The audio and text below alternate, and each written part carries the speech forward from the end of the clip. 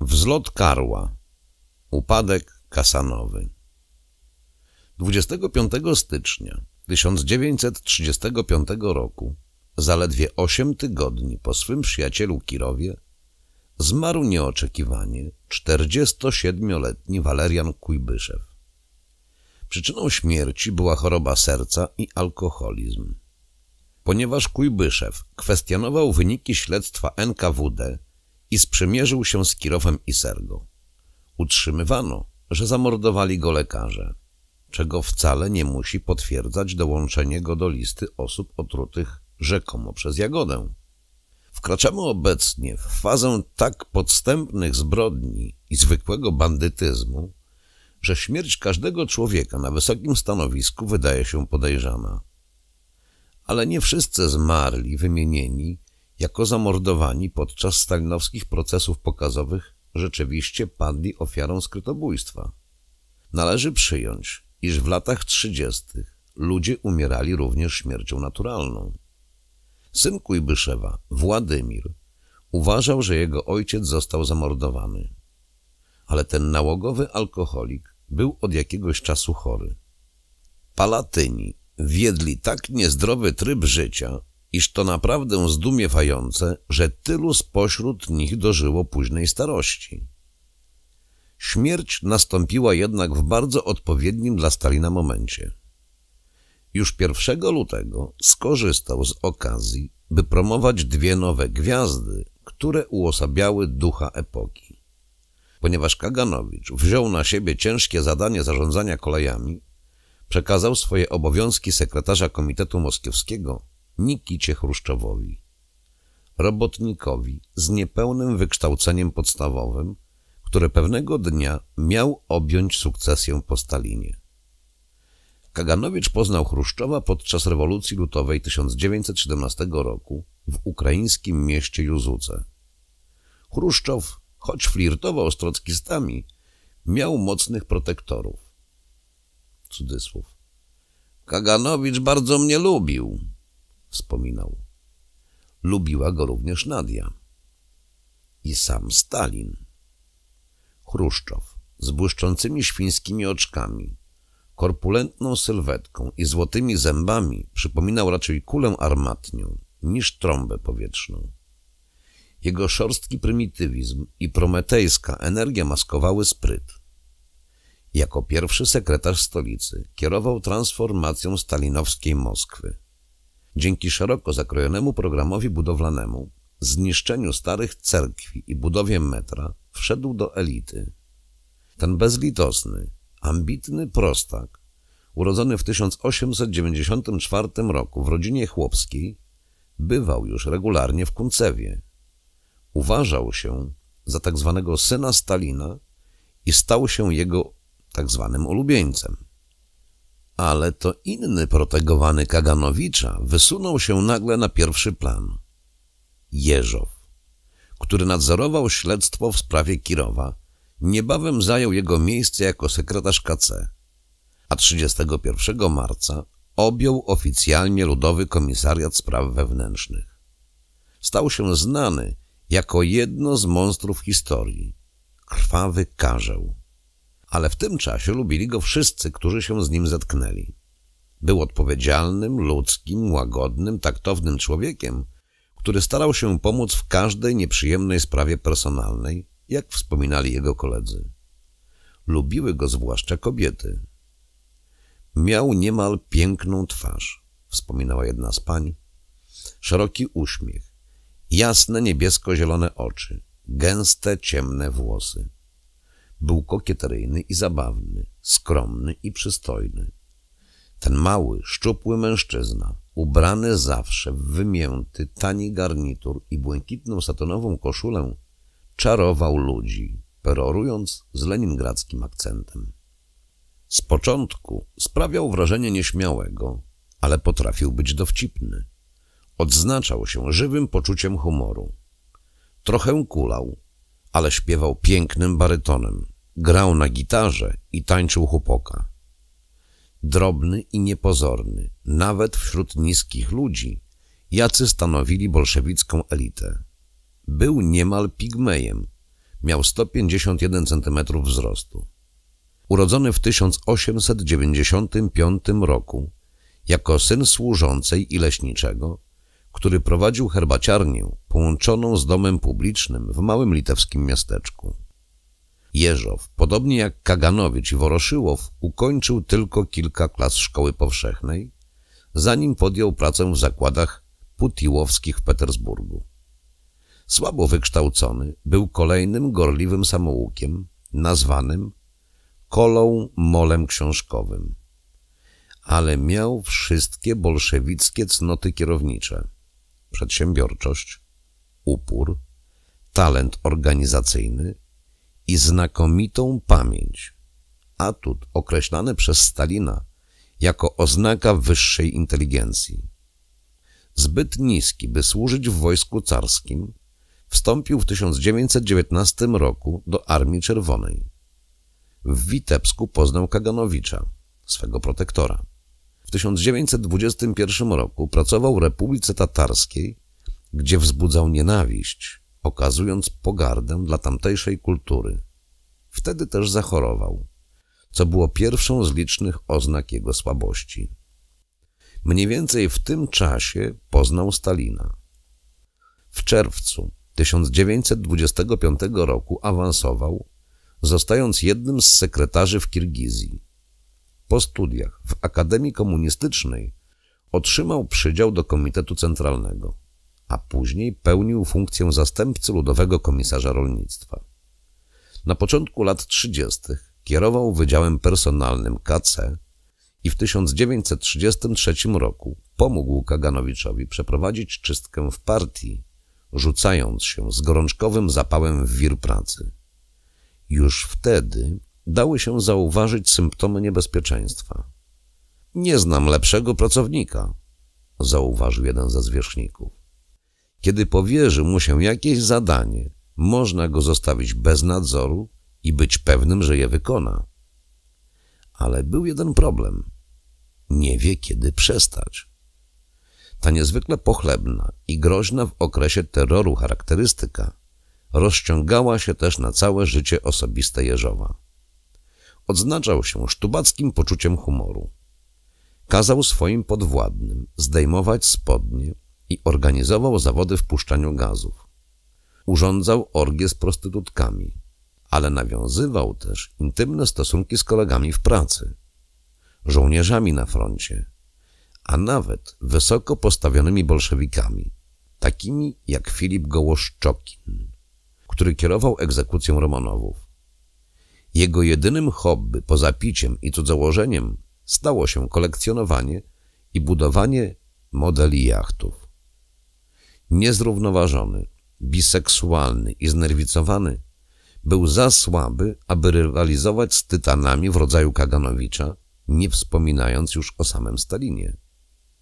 Jeżow cierpiał na różne dolegliwości, owrzodzenia i podrażnienia skóry, gruźlicę, anginę, ischias, łuszczycę, prawdopodobnie na tle nerwowym, podobnie jak Stalin, i coś, co nazywano neurastenią.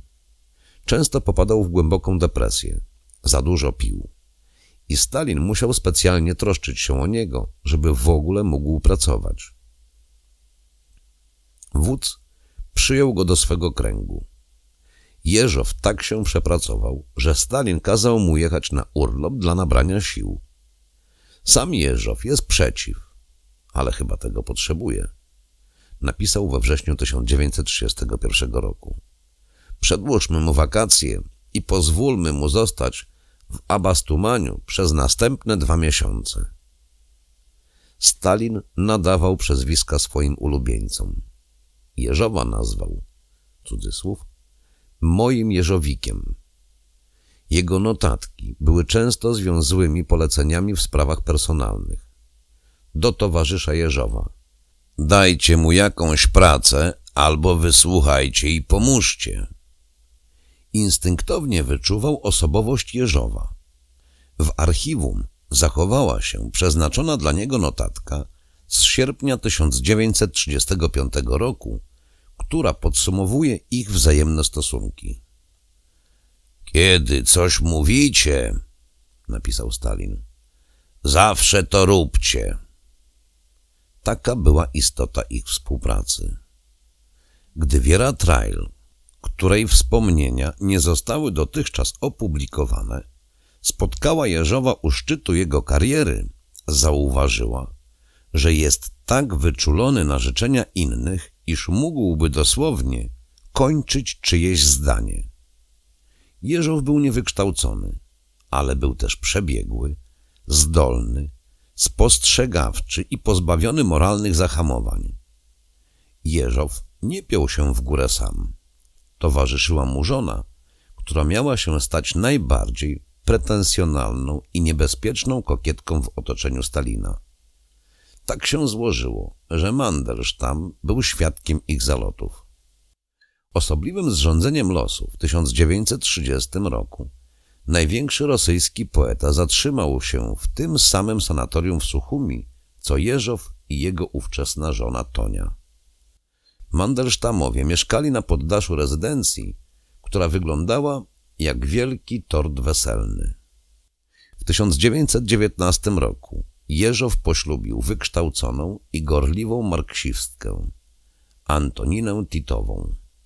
W 1930 roku w Suchumi Tonia opalała się na leżaku, czytając kapitał i przyjmując umizgi pewnego starego bolszewika.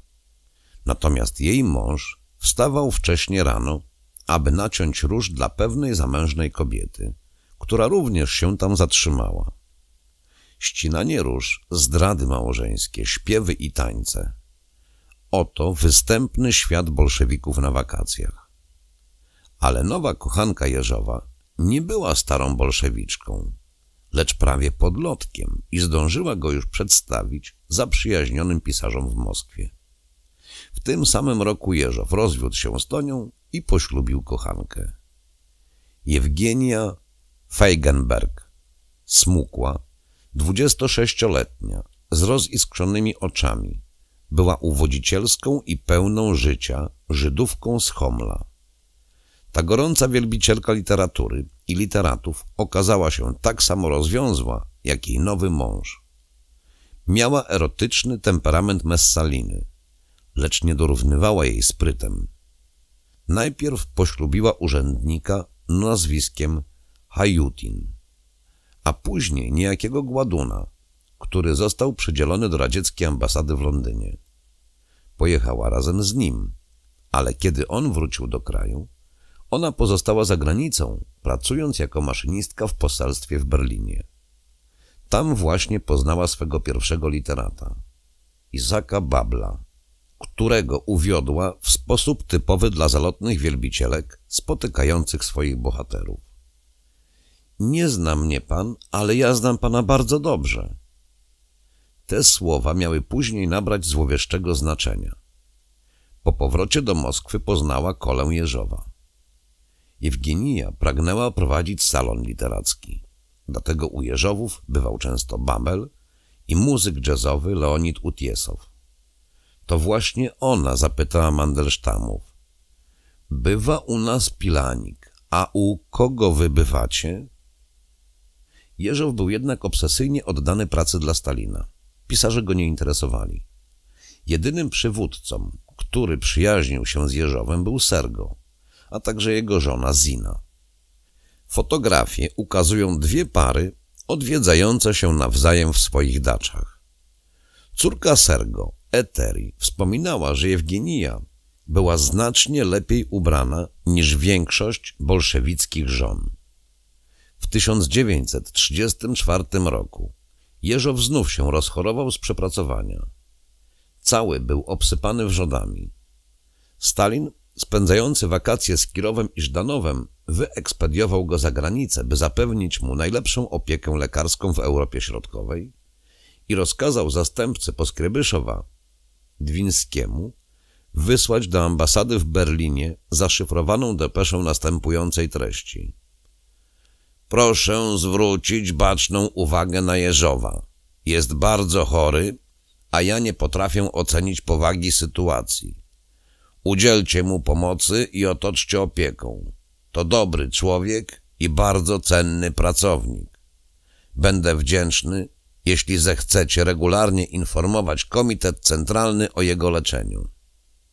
Nikt się nie sprzeciwiał wyniesieniu Jeżowa. Wręcz przeciwnie. Chruszczow uważał go za wspaniały nabytek. Bucharin doceniał jego dobre serce i czyste sumienie, choć zauważył, iż Jeżow płaszczy się przed Stalinem. Ale to nie było niczym niezwykłym.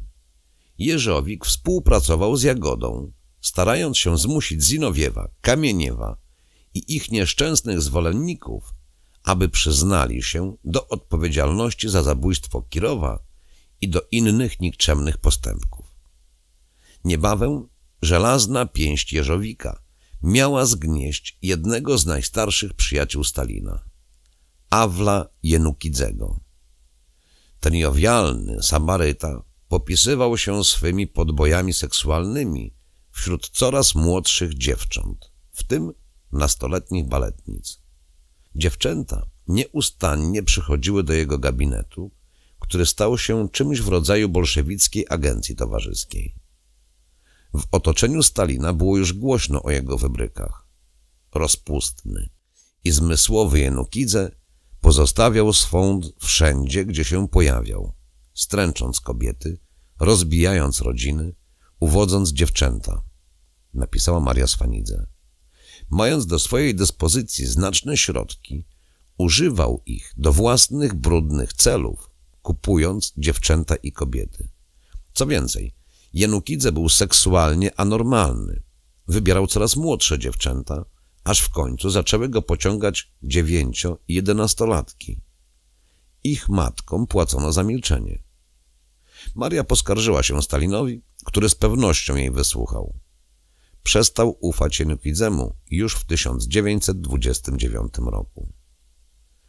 Ojciec chrzestny Nadi przekroczył linię oddzielającą rodzinę od polityki w życiu Stalina, co okazało się bardzo niebezpiecznym posunięciem. Ten szczery przyjaciel lewicowców i prawicowców może i sprzeciwiał się dekretowi z 1 grudnia, ale uosabiał też dekadencję nowej oligarchii. Awel nie był jedyny. Stalin czuł, że otaczają go świnie u koryta. W swoim wesołym otoczeniu wódz był zawsze sam, przekonany o własnym wyobcowaniu i często samotny. W 1923 roku błagał Jenukidzego, aby pojechał z nim na wakacje. W Moskwie często prosił Mikojana i Aloszę Swanidzego, który był dla niego jak brat, żeby zostali na noc. Mikojan został kilka razy, ale jego żona nie była z tego zadowolona. Cudzysłów. Jak mogła sprawdzić, czy naprawdę byłem u Stalina? Sfanidze zostawał znacznie częściej.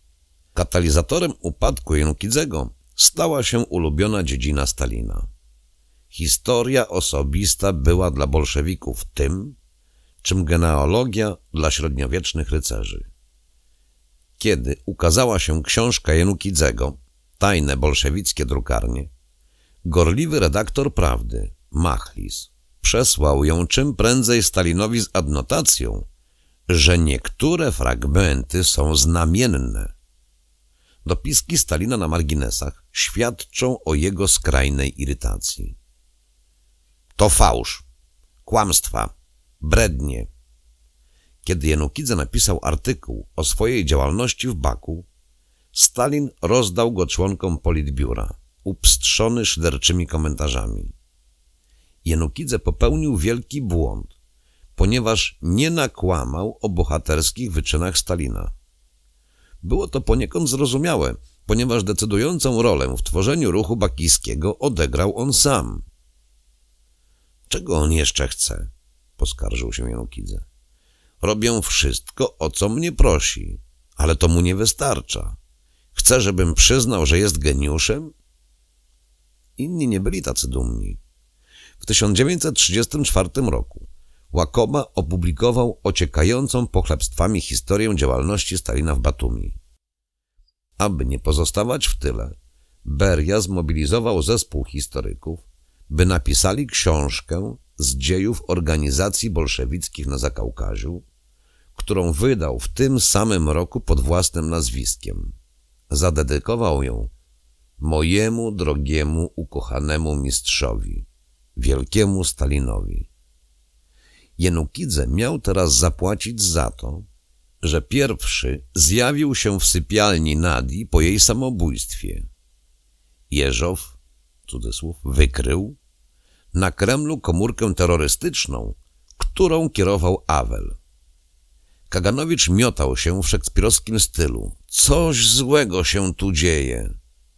NKWD aresztowało 110 podwładnych, bibliotekarzy i funkcjonariuszy Janukidzego pod zarzutem terroryzmu. W stalinowskich spiskach zawsze występowała nikczemna piękność. Z pewnością była tam księżna, która miała zatruć stronnicę książek, żeby zgładzić Stalina. Dwie osoby skazano na śmierć, a resztę na kary od pięciu do dziesięciu lat obozu. Jak wszystko, co działo się wokół Stalina, sprawa kremlowska miała różne aspekty. Po części była wymierzona w Janukidzego, po części obliczona na oczyszczenie Kremla z elementów potencjalnie nielojalnych, ale w jakiś sposób była też powiązana z Nadią. Służąca, której prośba o ułaskawienie skierowana do Kalinina zachowała się w archiwum, została aresztowana za rozsiewanie plotek o samobójstwie Nadii. Stalin z pewnością nie zapomniał, że Jenukidze wywierał polityczny wpływ na Nadię i pierwszy widział jej ciało.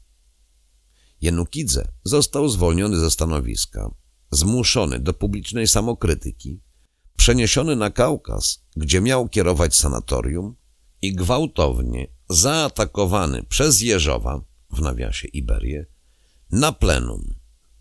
Jeżowik pierwszy podniósł stawkę.